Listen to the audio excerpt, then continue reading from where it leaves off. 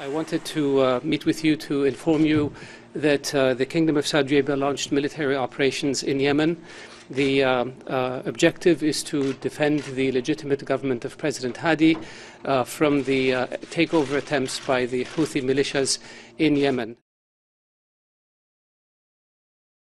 The use of force is always the last resort, and it is with great reluctance that we took this step along with our partners in the uh, GCC countries, um, as well as outside of the GCC countries. We have a coalition of over 10 countries that, are that will participate in these uh, operations to prevent Yemen from falling uh, at the hands of the Houthis.